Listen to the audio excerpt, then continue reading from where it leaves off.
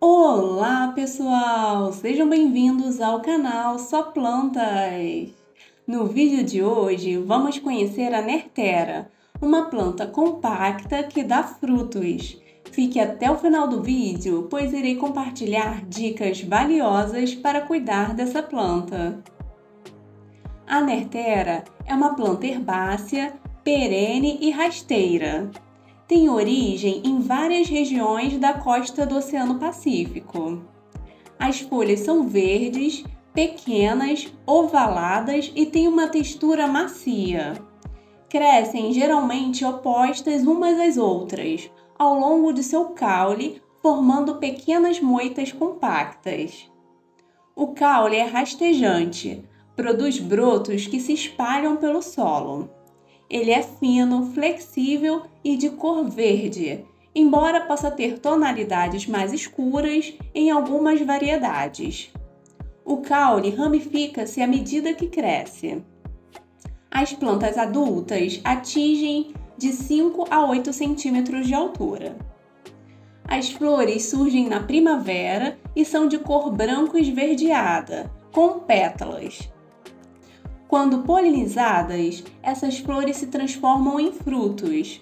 Os frutos são pequenos e redondos, com cerca de 5 a 7 milímetros de diâmetro. Tem cor vermelha ou laranja e lembram alfinetes em uma almofada. Os frutos aparecem no final da primavera ou no início do verão e permanecem por várias semanas. Seus frutos possuem uma textura firme e sabor ácido. São utilizados para fins ornamentais, em arranjos florais ou como decoração culinária. Porém, não é recomendado consumi-los, por serem levemente tóxicos. Pode surgir sintomas leves de envenenamento em crianças e animais que consomem uma boa quantidade. Nos Estados Unidos, ela é bastante procurada durante as festas de Halloween para ser usada na decoração. É uma ótima opção para forração em jardins ou para cultivo em vasos, onde seus caules ficam com um efeito caído. A Nertera é uma planta de meia sombra. Em ambiente interno, você pode colocar próximo a uma janela, onde recebe luz solar filtrada. Evite expor a planta ao sol direto, pois isso pode causar queimaduras nas folhas. Se for cultivar em ambiente externo, procure um local com sombra parcial ou em áreas que recebam luz de árvores com folhagem densa. A rega deve ser moderada. É importante manter o solo úmido, mas não encharcado. Espere a camada superior do solo secar para regar novamente.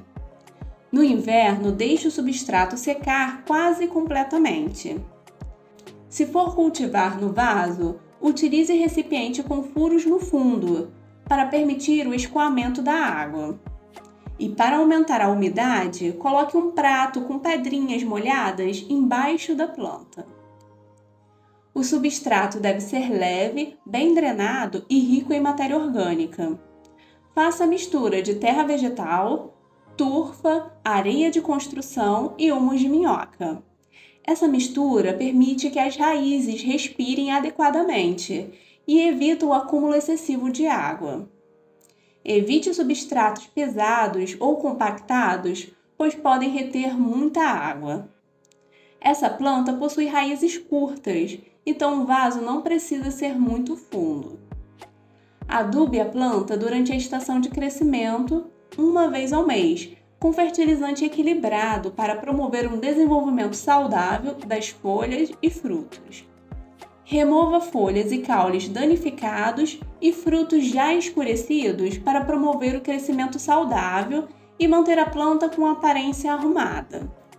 A nertera pode ser propagada através de sementes, divisão de touceiras e estacas, por estaca, é só cortar uma estaca saudável e plantar em um substrato adequado. Sugiro realizar na primavera ou no verão. Mantenha o substrato levemente úmido até que as estacas desenvolvam raízes. E não se esqueça de se inscrever no canal para não perder nenhum conteúdo sobre plantas.